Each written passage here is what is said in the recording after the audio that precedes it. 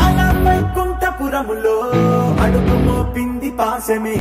విలాపాలున్న విడిదికే Kalapam పంకదిలి వచ్చనే.